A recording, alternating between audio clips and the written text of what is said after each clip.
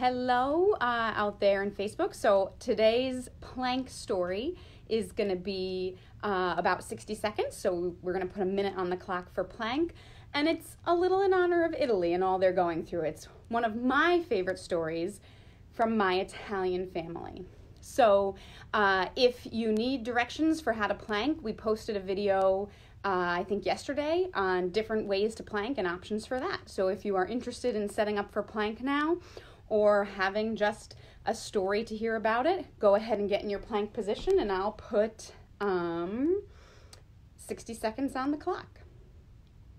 All right, so when my mom and uncle were little, if my grandma did not want them to hear what she was saying to her relatives, she would speak in Italian, which basically meant for the most part that all the Italian words my mom and uncle knows are swear words because that's why she didn't want them to hear. But one of the words my mom did pick up from those conversations was the word picchiac, and she thought it was pretty. So when she had me and my sister, she would call us, Oh, my little picchiac, my little picchiac, my little picchiac. And one day, my grandmother heard her saying this and she said, What are you calling those girls?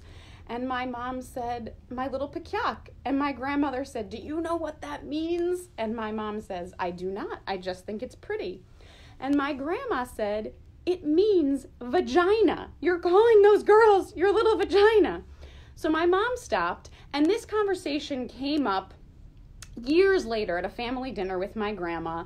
You're at a minute, so we're going to go over. Let's just keep going with plank. So, years later, we're at a dinner with my grandma, and the story comes up, and my mom is retelling it, and my grandmother says, Well, it's not just any vagina, it's the C word. It's a derogatory term for, for vagina. So, my mother was calling us her little C word that stopped, but that story always makes me laugh.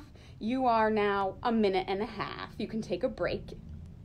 Uh, thanks for listening. I hope you keep moving and have a great day. Bye bye.